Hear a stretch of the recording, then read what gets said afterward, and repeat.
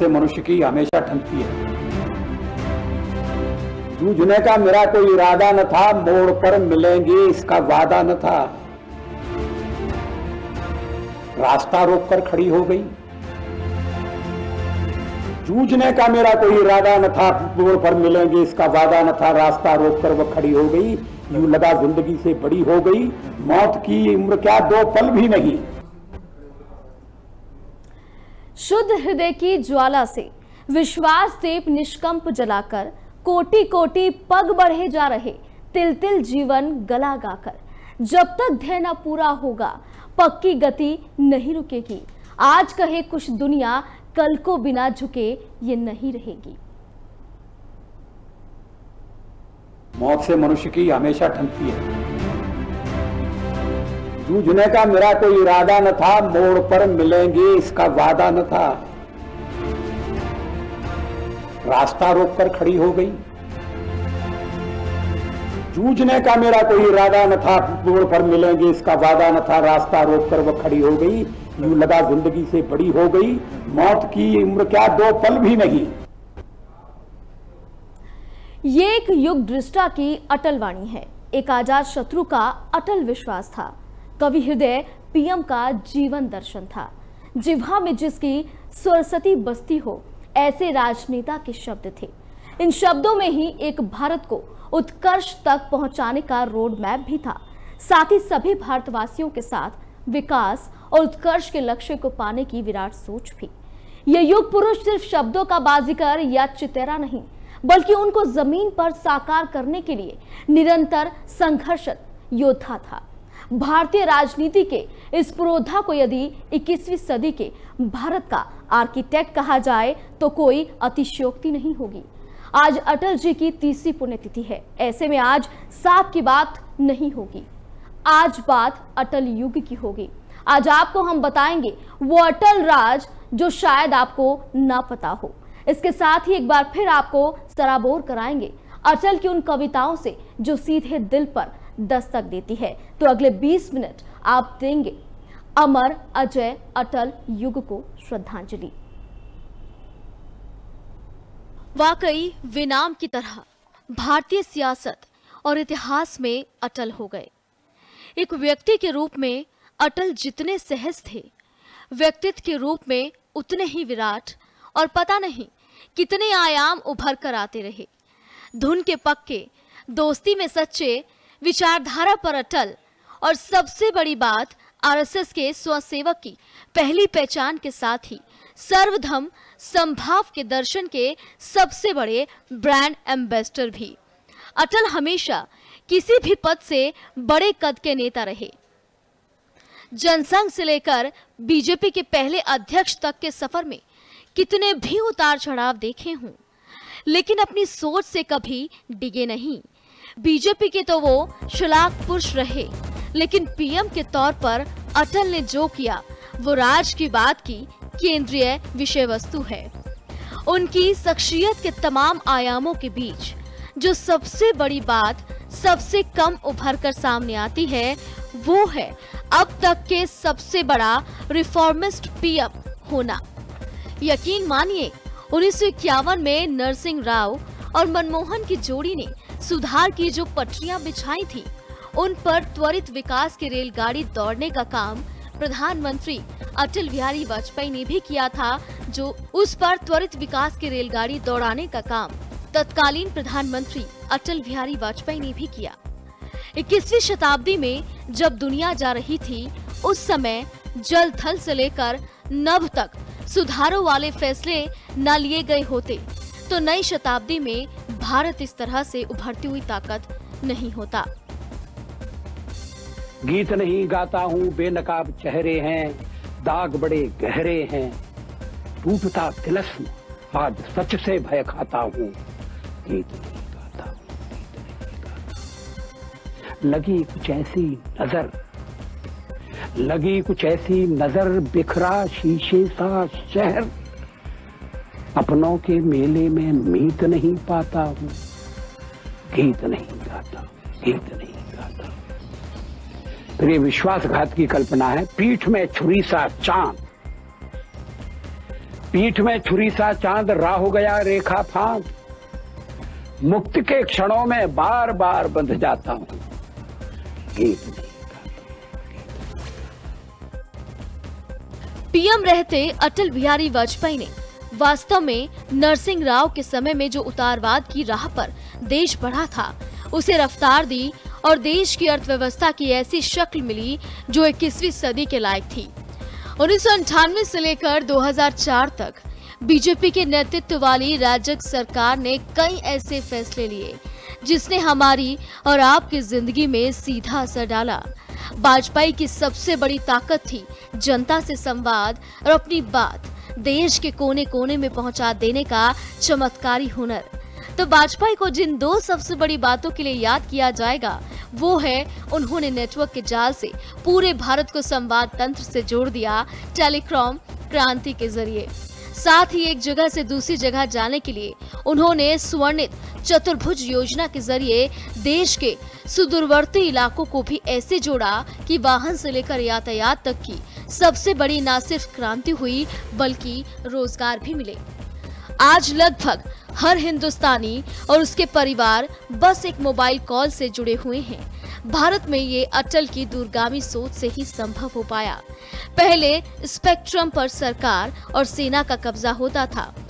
उसे निजी क्षेत्र के लिए खोलने से न सिर्फ़ पूरा देश और दुनिया संवाद के तंत्र से जुड़ा, बल्कि रोज़गार के ज़बरदस्त अवसर भी पैदा हुए।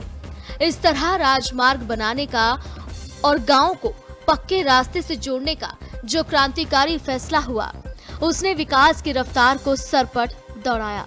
इसी तरह टैक्स रिफॉर्म को लेकर पूरे देश को साथ लेने की शुरुआत भी वाजपेयी के समय में हुई। टैक्स रिफॉर्म सिर्फ़ केंद्र सरकार का कर्मकांड नहीं, बल्कि पूरे देश की ज़रूरत है। इसे न सिर्फ़ वो समझे, बल्कि सभी दलों को समझाने में भी कामयाब रहे। समावेशी राजनीतिक सिद्धांत के मद्देनजर अटल ने टैक्स के लिए बनी कमेटी के अध्यक्ष का पद विपक्ष को दिया और सभी दलों की शिरकत की। वो एक शुरुआत थी जो अब एक देश और एक टैक्स के मुकाम तक पहुँच सकी। इसके अलावा ऊर्जा में सुरेश प्रभु को लाकर निजी क्षेत्र को यहाँ लाए। तमाम राजनीतिक विरोधों के बावजूद आज ऊर्जा के क्षेत्र में भारत की स्थिति, उस समय लिए गए फैसले की रोशनी का विस्तार है। स्टील अथॉरिटी ऑफ़ इंडिया को पुनः जीवित से लेकर विनिवेश जैसे साहसिक फैसले भी लेने से नहीं चूका गया। अब प्रधानमंत्री नरेंद्र मोदी की महत्वाकांक्षी सागर माला परियोजना, जो समुद्रवर्ती इलाकों के विकास और रोज़गार के लिए बेहद अहम है और अंतर्राष्ट्रीय व्यापार के लिहाज से बेहद ज़रूरी है और फ़ायदा का सौदा है। उसकी भी शुरुआत वाजपेयी सरकार में ही हुई थी।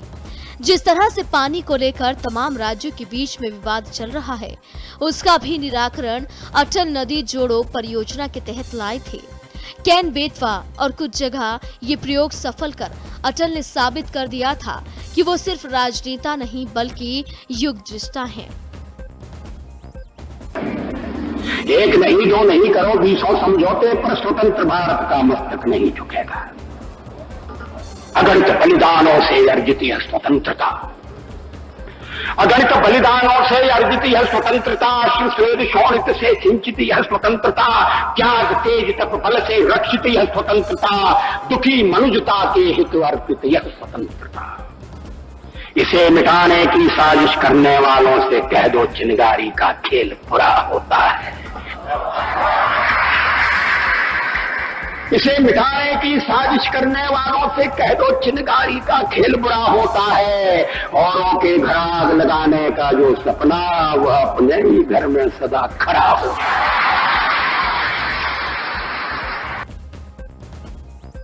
जरा सोचिए कि ये सब सुधार अटल बिहारी वाजपेयी ने किस समय किए? वो राजनीति का सबसे दुरूह संक्रमण काल था। मंडल, कमंडल की सियासत से तमाम क्षेत्रों, जातियों, भाषाओं और धार्मिक अस्मिता जैसे मुद्दे अपने सबसे चरम पर थे। पूरे देश में क्षेत्रीय दलों का आविर्भाव था। सियासत में नए क्षेत्रीय खिलाड़ियों की बढ़ती भूमिका और दबाव। वही नई शताब्दी में जाती दुनिया, जिसमें भारत की राजनीति अस्थिरता के चरमोत्कर्ष से गुजर रही थी। गठबंधन सरकारें लगातार असफल हो रही थी। ऐसे में जब सरकार बचाना और देश को अस्थिरता के भंवर से निकालना सबसे बड़ी चुनौती थी तो अटल ने देश को गठबंधन धर्म का मर्म समझा और हिंदुस्तान के लोकतंत्र को मज़बूत करने वाला मिली जुली सरकार चलाने का गुरु मंत्र भी दिया। का मेरा कोई इरादा न था मोड़ पर मिलेंगे, इसका वादा न था रास्ता रोक कर वो खड़ी हो गई। यूँ लगा ज़िंदगी से बड़ी हो गई। मौत की उम्र क्या? मौत की उम्र क्या तीन पल भी नहीं? ज़िंदगी। की हाँ। मौत का मौत की उम्र क्या दो मौत की उम्र क्या दो पल भी नहीं? छापने वाले ने दो का तीन कर दिया है।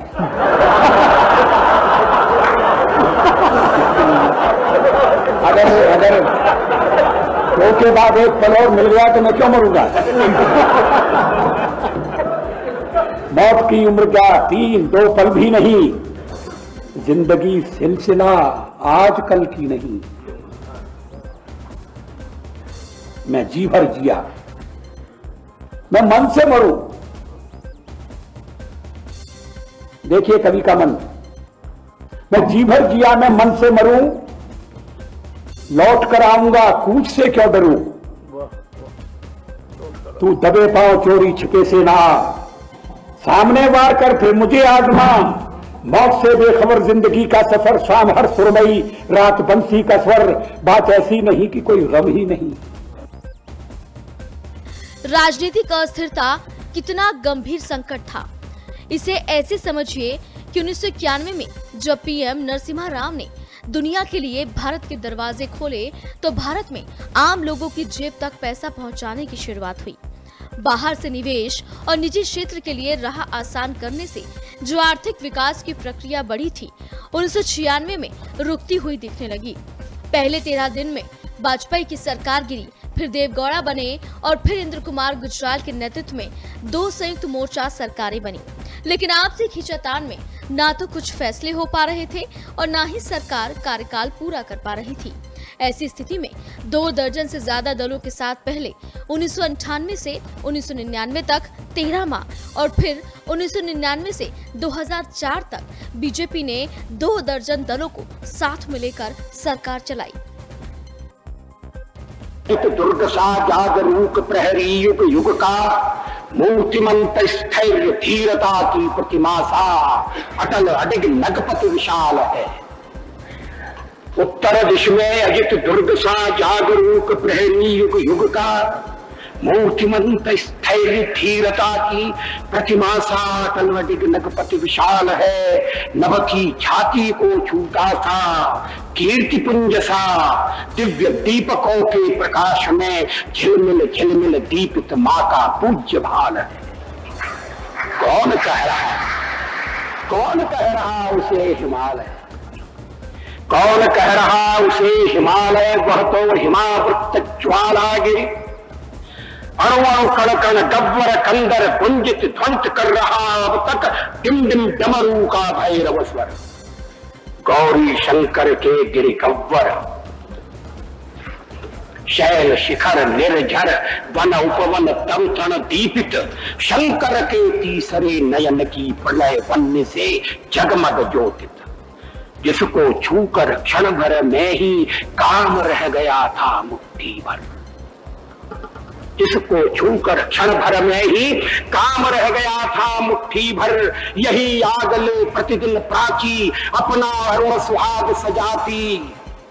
यही आग में प्रतिदिन प्राची अपना अरुण सुहाग सजाती। और प्रखर दिन कर की कंचन काया इसी आग में पल कर निश निश दिन दिन जल जल प्रतिपल सृष्टि प्रलय पर्यंत तमावृत जगती को रास्ता दिखाती। यही आगले हिंदू महासागर की छाती है धधकाती पूरब से लेकर पश्चिम तक और उत्तर से लेकर दक्षिण तक तमाम क्षेत्रीय दलों के साथ मिलकर, मिलीजुली सरकार में भी सबको सम्मानजनक भागीदारी देकर वास्तव में लोकतंत्र की प्रतिष्ठा को नया आसमान दिया। साथ ही वैश्विक फलक पर भारतीय अरमानों को छा जाने का नया फलक भी।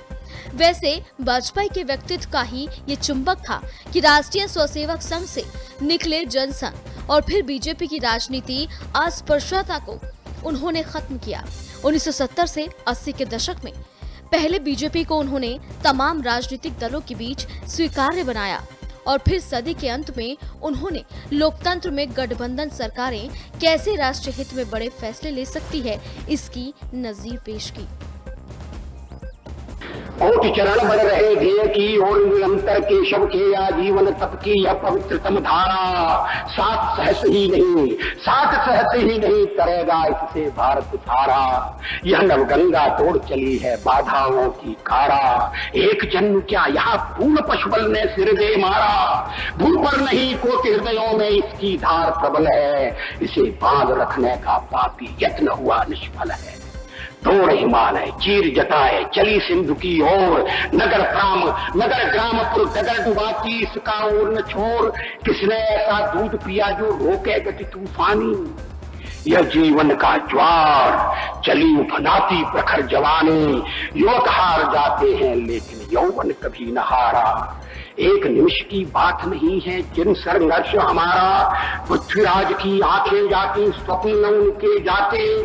भर जाते हैं खाओ, दाग पर सदा मिट रह जाते। यह जनगंगा जनजीवन का कलमश कलुष बहाती, जो डूबा से पार हो गया, मुक्ति लुटाती। वाजपेयी की सबसे बड़ी ताकत थी वैचारिक प्रतिबद्धता के साथ तार्किक और संवेदनशील सियासी रचना। संसदीय गरिमा को लेकर सजग विपक्षी दलों पर मुद्दों पर कठोर प्रहार के साथ लोकतांत्रिक मूल्यों के प्रति अटूट निष्ठा, उनका जीवन दर्शन था। यही कारण है कि अंतर्राष्ट्रीय स्तर पर भी वो आउट ऑफ़ बॉक्स जाने से नहीं चूके। अमेरिका समेत पूरी दुनिया की धोस के सामने ना झुकते हुए पोखरण दो कर परमाणु शक्ति संपन्न बने और दुनिया के प्रतिबंध झेले। लेकिन उससे और ज़्यादा मज़बूत होकर भारत उभरा। इसी तरह पाकिस्तान जैसे पड़ोसी के साथ लाहौर यात्रा जैसा साहसिक कदम। इसके बाद करगिल युद्ध छेड़ पाकिस्तान ने पीठ पर छुरा घोपा। फिर भी आगरा में शिखर वार्ता कर शांति कायम करने की कोशिश भी की। हालाँकि कारगिल हो या संसद पर हमला। इसके बाद सख्त फैसले लेने से भी अटल ने गुरेज नहीं किया। अटल की इस सद इच्छा और कूटनीति का ही परिणाम था कि दुनिया के सामने पाकिस्तान का असली आतंकी और अविश्वसनीय चेहरा सामने आया। नगपति फिर ललकार उठा है, कुरुक्षेत्र के कण कण से फिर पांचजन्य हुंकार उठा है। शत शत आघातों को सहकर जीवित हिंदुस्तान हमारा, जग के मस्तक पर रोली सा शोभित हिंदुस्तान हमारा। दुनिया का इतिहास पूछता रोम कहाँ, यूनान कहाँ है? दुनिया का इतिहास पूछता, रोम कहा, यूनान कहाँ है? घर घर में शुभ अग्नि जलाता, वह उन्नत ईरान कहाँ है? दीप बुझे पश्चिमी गगन के, व्याप्त हुआ बरबर अंधियारा। किंतु चीर कर तमकी छाती चमका हिंदुस्तान हमारा। हमने उड़का स्नेह लुटाकर, पीड़ित ईरानी पाले हैं। हमने उनका स्नेह लुटाकर पीड़ित ईरानी पाले हैं। निज जीवन की ज्योति जना मानवता के दीपक बाले हैं। जग को अमृत का खत देकर हमने विष का पान किया था। मानवता के लिए हर्ष से अस्थि वज्र का दान किया था।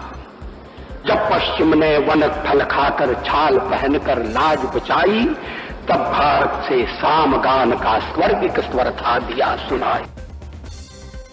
अगर अटल बिहारी वाजपेयी को राजनीति से लेकर अर्थनीति तक का सबसे बड़ा सियासी रिफॉर्मिस्ट यानी सुधारवादी कहा जाए तो शायद गलत नहीं होगा।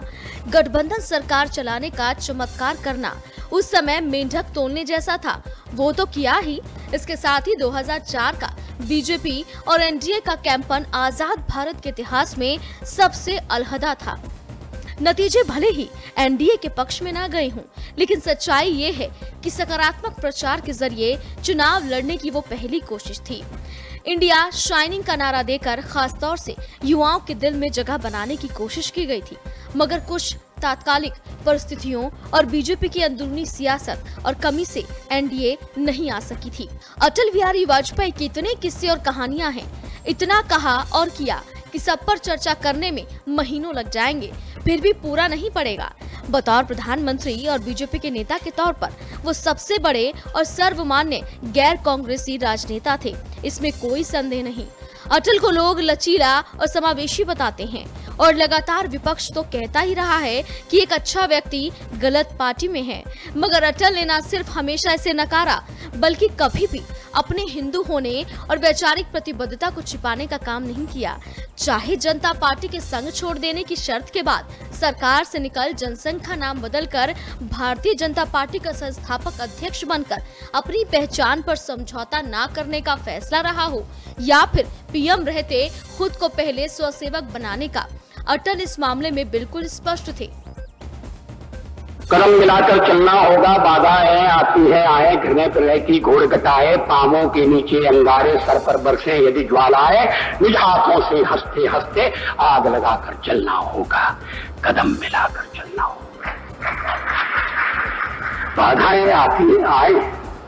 गिरे प्रलय की घोर घटाएँ पाओ के नीचे अंगारे सर पर बरसे, यदि ज्वालाए नि हाथों से हँसते हँसते आग लगा कर चलना होगा, कदम में आकर चलना होगा। हास्य रुदन में तूफानों में ये शब्दावली पर ध्यान दी हास्य रुदन में, तूफानों में, अमर संख्यक बलिदानों में, उद्यानों में, वीरानों में, अपमानों में, सम्मानों में, उन्नत मस्तक, उभरा सीना, पीड़ाओं में पलना होगा, कदम मिलाकर चलना। अटल का जीवन दर्शन बिल्कुल स्पष्ट था कि आराध्य और आस्था से कोई समझौता नहीं करेंगे। मगर इसका दूसरा पहलू ये था कि दूसरे के मज़हब और उपासना पद्धति के आधार पर उससे कोई भेद नहीं होगा। वैचारिक मतभेद होने पर वो अपने मूल्यों पर अड़िग थे, लेकिन दूसरे के विचार को भी पूरा सम्मान और स्थान था। वे खुद को हिंदू कहने में गर्व महसूस करते थे, लेकिन संकुचित हिंदुत्व के विचार को वो सिरे से खारिज करते थे। जम्मू कश्मीर को लेकर संघ और बीजेपी का जो मत था, उससे वो कभी नहीं डिगे ये अलग बात है कि वो सभी को साथ लेकर, चलकर समाधान की दिशा में बढ़ते रहे। जमहूरियत और इंसानियत का जो सूत्र वाक्य देकर अटल गए, उससे ही रास्ता निकला। कहते हैं कि असली राजनेता वो होता है, जिसके लिए गए फैसले आगे देश की सतती और संस्कृति के साथ और प्रासंगिक और दूरदर्शी नज़र आए।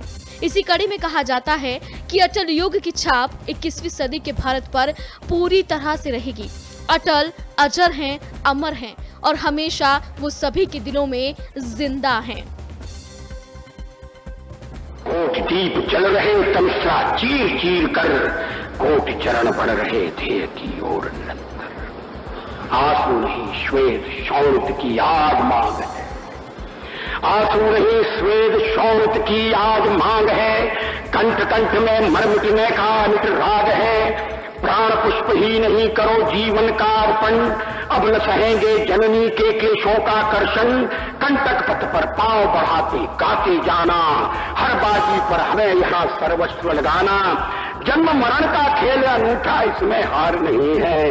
वह क्या चल पाएगा जिसको पथ से प्यार नहीं? बीते वर्ष अनेक पंथ पर राही एक चला था। अंधकार का वक्ष चीर कर दीपक एक जला था। दैन्य दास्य का पंख दबाकर शतदल कमल खिला था। काल रात्रि को भेद ज्योति का प्रखर पुण्य निकला था। पथ पर चलते चलते ही वह राह बन गया। पथ पर चलते चलते ही वह राह बन गया। तिल तिल कर जलती जलती ही दाह बन गया। वह कैसा था भक्त? स्वयं भगवान बन गया। कुंभकार की कृति होकर निर्माण बन गया। मौत से मनुष्य की हमेशा ठनती है। जूझने का मेरा कोई इरादा न था, मोड़ पर मिलेंगे इसका वादा न था। रास्ता रोककर खड़ी हो गई। जूझने का मेरा कोई इरादा न था, तोड़ पर मिलेंगे, इसका वादा न था, रास्ता रोक कर वह खड़ी हो गई, यूँ लगा ज़िंदगी से बड़ी हो गई, मौत की उम्र क्या दो पल भी नहीं।